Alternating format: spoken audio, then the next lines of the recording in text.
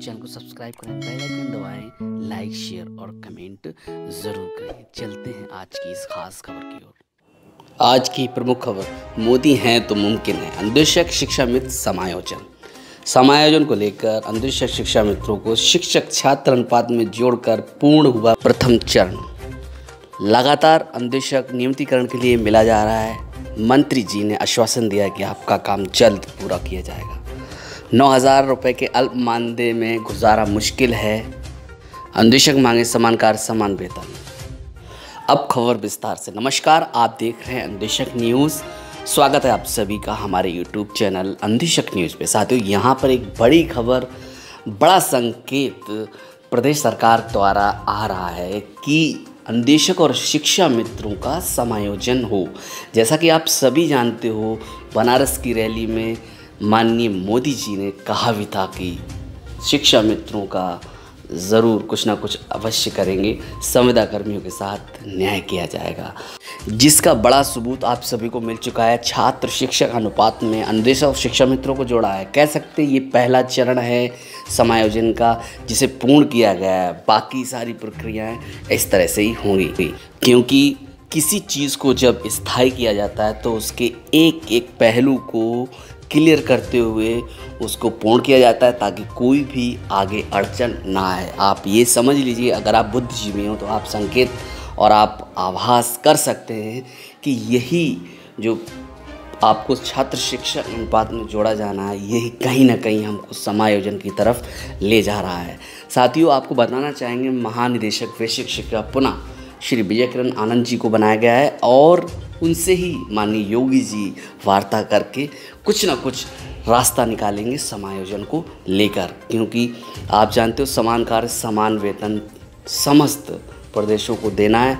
ये आदेश जारी है भारत सरकार द्वारा। और यहाँ पर आप देख रहे हैं, रुद्र यादव जी एवं हिमांशु वर्मा जी पुष्प गुच्छ भेंट कर रहे हैं और इन्होंने एक अपना लेटर भी दिया है माननीय मंत्री जी के लिए अंधेशक स्थायीकरण को। साथियों, यहाँ पर एक बड़ी ब्रेकिंग न्यूज़ अंधेशकों के लिए है। S C E R T के निदेशक श्री सरविंद विक्रम सिंह जी से मुलाकात कर अंधेशकों ने नई शिक्षा नीति के लिए जो कमेटी गठित की गई है, उसके बारे में विस्तृत जानकारी प्राप्त की, जिस पर सरविंद विक्रम सर ने बताया कि ये कमेटी नई शिक्षा नीति के क्रियान्वयन के लिए बनाई गई है। उसके बाद पैरवी के क्रम में बेसिक शिक्षा मंत्री जी से सचिवालय में अंधेशकों द्वारा मुलाकात की गई। सब प्रथम अपना एक मात्र मुद्दा नियमितीकरण पर लिखित ज्ञापन दिया गया और मौखिक वार्ता में माननीय मंत्री जी ने पूरा भरोसा दिलाया कि इस बार आप लोगों का नियुक्तिकरण अवश्य करवाया जाएगा, जिसके लिए सरकार प्रयासरत है, हम सभी प्रयासरत हैं। इसी के साथ ही पुनः याद दिलाया गया माननीय मंत्री जी के लिए अंदोशकों द्वारा गृह ब्लॉक ट्रांसफ़र के लिए। तब उन्होंने बोला कि हम जल्द ही ये काम आपका पूरा करवाएँगे। मुझे याद है पिछली बार भी इसी मुद्दे पर बात हुई थी। जल्द ही अब इसका भी कार्य संपूर्ण किया जाएगा।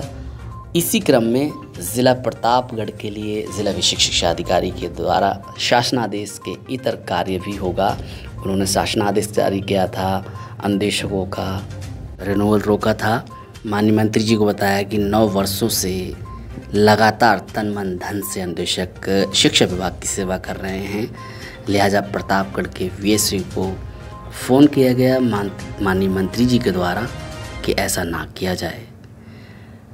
माननीय मंत्री जी ने तुरंत बेसिक शिक्षा मंत्री जी को बताया और कड़ी नाराज़गी ज़ाहिर की है माननीय बेसिक शिक्षा मंत्री जी ने बी एस प्रतापगढ़ से फ़ोन पर बात कर जवाब मांगा है।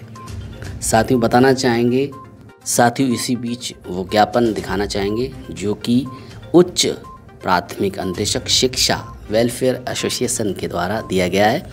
इसमें क्या लिखा हुआ है, हम आपको बताना चाहेंगे। सेवा में माननीय बेसिक शिक्षा मंत्री उत्तर प्रदेश। विषय है, उत्तर प्रदेश राज्य के सरकारी उच्च प्राथमिक विद्यालयों में अंदेशक शिक्षा पद के स्थायीकरण के संबंध में महोदय, उत्तर प्रदेश राज्य के उच्च प्राथमिक विद्यालय में वर्ष 2013 में आर टी ई एक्ट 2009 अनिवार्य एवं बाल शिक्षा अधिनियम के तहत विभिन्न विषयों जैसे कि कंप्यूटर शिक्षा, कला शिक्षा, शारीरिक शिक्षा शिक्षा, कृषि आदि पदों के सापेक्ष अंशकालिक अनुदेशक शिक्षक के रूप में रखे गए थे। बड़े दुख के साथ बताना चाहेंगे कि लगभग नौ वर्ष पूर्ण होने जा रहे हैं।